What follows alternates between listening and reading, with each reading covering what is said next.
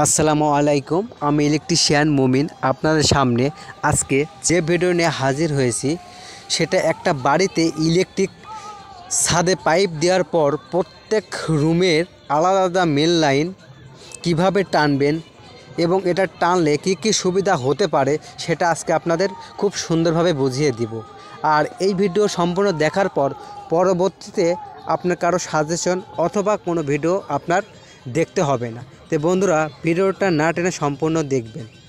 এবং আমার চ্যানেল যদি এখনও সাবস্ক্রাইব না করে থাকেন, তাহলে অবশ্যই সাবস্ক্রাইব করবেন এবং পরবর্তীতে নতুন নতুন ভিডিও পাওয়ার জন্য অবশ্যই নোটিফিকেশন অল করে দেবেন। তো বন্ধুরা, কথা না বাড়িয়ে আমরা ভিডিওতে যাই। তো এইখানে চারটা বেডরুম একটা ডাইনিং রুম তিনটা টয়লেট একটা গাড়ি পার্কিংয়ের সামনে একটা পোর্টস এবং ছোট্ট একটা রান্নাঘর রয়েছে। তো এখন এই প্রত্যেকটা রুমের লাইন আমি এক জায়গায় একত্রিত করব, অর্থাৎ কন্ট্রোল করার জন্য, অর্থাৎ এইচডিবি বক্স আমি যেখানে স্থাপন করব, এইখানে আমি নিয়ে আসব। তো বন্ধুরা, সর্বপ্রথম যেখানে এইচডিবি বক্স স্থাপন করবেন, সেইখানটা অবশ্যই প্রত্যেকটা রুমের জন্য কাছে, অর্থাৎ দূরত্বটা কাছের হয় এবং যে পাইপটা আমি এইচডিবি বক্স থেকে আমি রুমের দিকে টানবো, এই জায়গাটাও যেন আমার সেফটি অর্থাৎ আমার এই পাইপটা যাতে সেফটি থাকে, এরকম জায়গায় প্রথমত আপনাকে বেছে নিতে হবে। তো এখন আমি এই রুমের জন্য, অর্থাৎ এই বাড়ির জন্য আমি এইখানে একটা আমি জায়গা বেছে নিয়েছি। তখন এই রুম, আমি এই স্থান থেকে আমি প্রত্যেকটা রুমের লাইন আমি টেনে নিয়ে আমি দেখাচ্ছি। তো এখন পর- সর্বপ্রথম কিন্তু আমি দেখেন পোর্সের থেকে আমি এবং একটা রুমের লাইন আমি টেনেছি। এখন আরেকটা রুমের লাইন আমি এখানে টানানোর জন্য আমি এখানে কিন্তু রড আমি বাঁকা করে নিচ্ছি।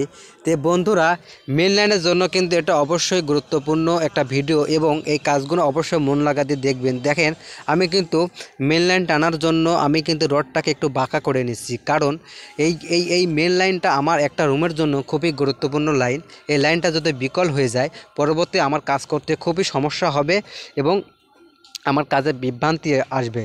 তো এখন উপর জালি এবং নিচ জালির মধ্যে আমি যে পাইপটা দেব, এই পাইপটা যেন আমার ক্লিয়ার থাকে। অর্থাৎ এই পাইপটা যেন কোনো চাপ অথবা কোনো প্রেশার না লাগে, সেদিকে কিন্তু আমার অবশ্যই খেয়াল রাখতে হবে। তো সর্বপ্রথম আমাকে একটা রুমের লাইন আমি এখানে, আমি টেনে, আমি এখানে সকেট লাগিয়ে এটাকে আমি অ্যাডজাস্টিং করে দেব, যাতে আমার এখানে এইচডিপি বক্স এবং আরেক প্রান্ত আমার রুমের আমার লাইনে থাকবে, তাহলে আমি কিন্তু কাজটা খুব দ্রুত করব। দেখেন আমি এই এইচডি বক্স যেখান থেকে এখান থেকে কিন্তু একটা রুমের লাইন আমি এখানে একটা টানিয়ে নিয়েছি এবং এই পাশ থেকেও কিন্তু দেখেন আমি একটা পাইপ এখানে টিয়ে টেনে আমি এখানে কিন্তু এইচডিবি বক্স যেখানে দেবো, এখানে কিন্তু নিয়ে এসেছি। তো এইখানে এই লাইনটা কিন্তু অবশ্যই আপনাকে সতর্কতার সাথে কাজ করতে হবে এবং এই পাইপটা যেন ক্লিয়ার অর্থাৎ কোনো চাপ না লাগে, এরকম আপনাকে রাখতে হবে। কারণ যখন ঢালাই হবে, এই ছাদে কিন্তু অনেক লোক ওঠানামা করবে এবং একটা মানুষ দুই মন, দেড় মন মানে এর বেশি তার সাথে কিন্তু আবার ঢালাই থাকবে। সেক্ষেত্রে কিন্তু একটা মানুষের ওয়েট কিন্তু অনেক বেশি থাকবে। তে এই এই ওয়েটে কিন্তু আমার পাইপটার যদি চাপ লাগে, আমার পাইপটা ফেটে যেতে পারে। সেক্ষেত্রে অবশ্যই আমার পাইপটা এমনভাবে দিতে হবে যেন আমার পাইপটা অবশ্যই নিরাপদে থাকে। তে বন্ধুরা এই পাইপটা দেখেন, আমি মেন লাইন এখানে টানার জন্য আমি যে নিচে যে খারাপ পাইপ দেবো এই পাইপটা দেখেন, আমি পেপার লাগিয়ে কিন্তু ব্যান্ড লাগিয়ে আমি এখানে বসিয়ে দেব।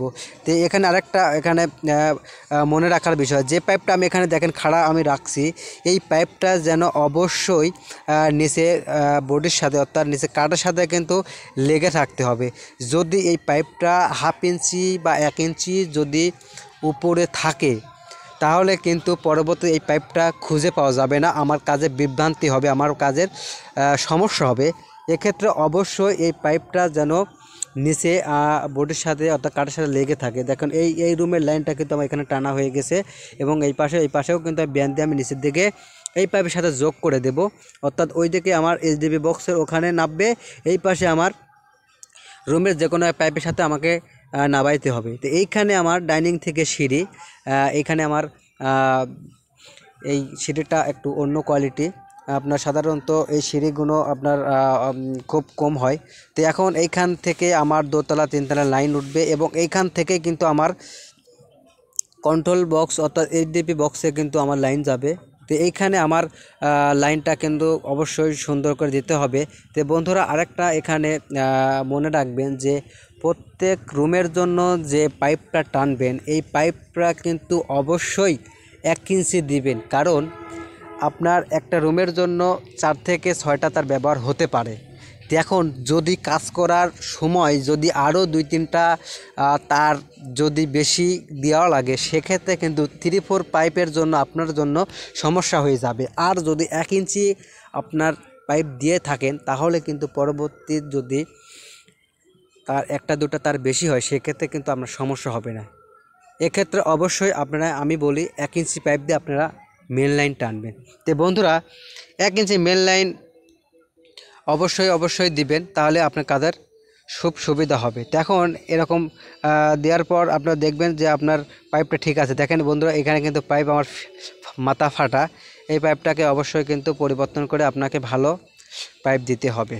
তো বন্ধুরা আরেকটা কথা বলি যে প্রত্যেক রুমের মেন লাইন যদি আপনি আলাদা আলাদা করে টানেন, সবচেয়ে বড় সুবিধা যখন একটা বাড়িতে তিন চারটা রুম মিলে আমি একটা মিটারে ব্যবহার করব, তখন চলতেছে। এখন কোনো এক সময় যদি ওই বাড়িতে দুইটা, তিনটা মিটার যখন আপনারা সংযোগ দিয়ে যখন রুম চালাবেন, তখন দেখা যাচ্ছে কি যে একটা পাইপ থেকে যদি দুই, তিনটা রুমের লাইন আসে, সেক্ষেত্রে আমি রুম রুম আলাদা করতে পারব না। ফেজ আলাদা করতে পারলেও দেখা যাচ্ছে অনেক সময় নিউট্রালটা আমরা কমন করে ফেলি। এই ক্ষেত্রে আমরা কিন্তু রুম বাই রুম আমি ভাগ করতে পারব না। আর বর্তমানে সব ডিজিটাল মিটার লাগবে। এখানে যদি কোনো রুমে নিউট্রাল কোনো রুমের সাথে লেগে থাকে, অর্থাৎ এক মিটারে নিউট্রাল আরেকটা মিটারে যদি লাগে, তাহলে কিন্তু অবশ্যই দুই মিটারে কিন্তু আপনার বিল শো করবে। সেক্ষেত্রে আপনার লাভের চাইতে ক্ষতিটা বেশি হবে। তো বন্ধুরা, অবশ্যই কিন্তু আপনি আলাদা আলাদা রুমের যদি মেন লাইন টানেন, সেক্ষেত্রে আপনি প্রত্যেকটা রুমের ফেজ নিউট্রাল গ্রাউন্ডিং আইপিএস সমস্ত কিছু কিন্তু আলাদা আলাদা হয়ে গেল।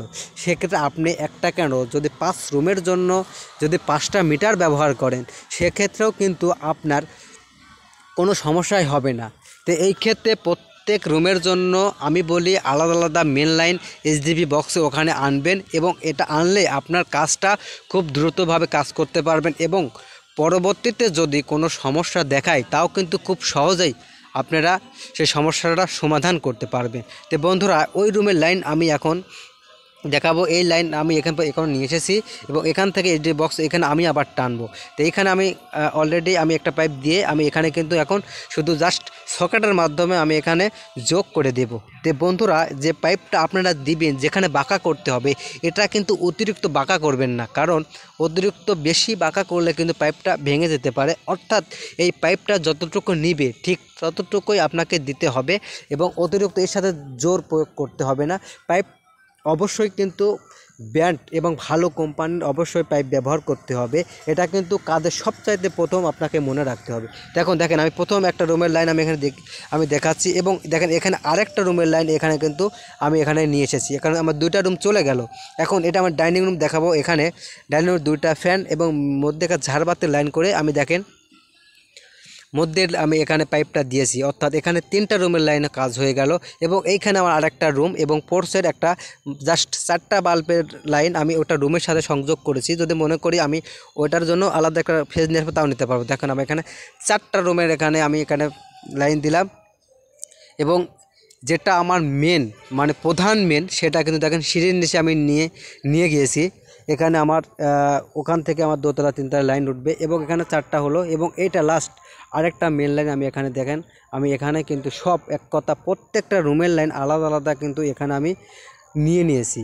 তো এখন এই কাজগুলো কিন্তু অবশ্যই ভেবেচিন্তে করতে হবে যে এই কাজটা যখন করব কিন্তু অবশ্যই আপনাকে মানে আমার কাজটা পরবর্তী যাতে কোনো সমস্যা না হয়, সেই সেই চিন্তা মাথায় রাখতে হবে এবং আপনার যদি একটু সাবধানতা আপনার কিন্তু পরবর্তীতে খুব প্রশংসা বয়ে আনবে। তো আমার পাইপ দেওয়ার পর আমাকে অবশ্যই বালু দিতে হবে, সুন্দর করে বালু দিতে হবে যাতে আমার পাইপটা পরবর্তীতে আমি খুব সহজেই খুঁজে পাই। তো বন্ধুরা, আমার ভিডিও যদি আপনাদের ভালো লেগে থাকে, তাহলে অবশ্যই একটা লাইক করবেন এবং পরবর্তীতে নতুন নতুন ভিডিও পাওয়ার জন্য অবশ্যই পাশে থাকা বেল আইকনটি অল করে দেবেন। তো ভালো থাকবেন, আল্লাহ